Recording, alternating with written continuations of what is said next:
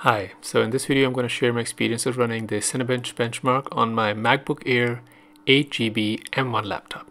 So let's go. So I'm going to run the single core test first. Now this test takes about uh, 10, more than 10 minutes to run. So what we're going to do is we're going to start this off and I'm going to speed up the video so you don't have to see the whole thing and uh, we'll then look at the score. Right, so the test is running now and I've sped up the video. Obviously this is not normal speed, uh, otherwise you'll be here a long time. And uh, it's going to do a couple of passes of rendering and just about now towards the end I'm going to slow it down again. Right, it's about to end and then you will see the score. And as you can see the score on the screen is 1492. So that's the single core CPU score for this benchmark. Next we'll do multi-core. Right, so now let's run the uh, multi-core uh, test. Now I have run this test once before, which is why you can already see the uh, score on the screen. But I'm going to run it again, and this time I'm going to let it run at normal speed for a little bit, just so you get a sense of how fast the test actually runs and what the visually, uh, what the rendering looks like visually. Um, the score will actually disappear after a while, and then it will recalculate it. This run will be complete.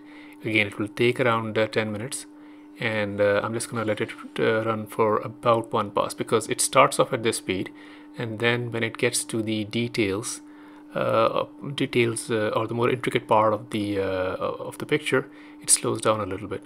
So I just like you to sort of uh, see that and then we'll speed it up from there take it to the end and share the score. So as you can see it's clipping right along so far without an issue. And now it comes to the slightly tricky bit as you can see. So it slows down here because there's a lot of detail there's a lot of uh, texture here so it does slow down. And then uh, speeds up again and then uh, it, it goes back to its normal speed. So at this point I'm just gonna speed this up and uh, take it to the end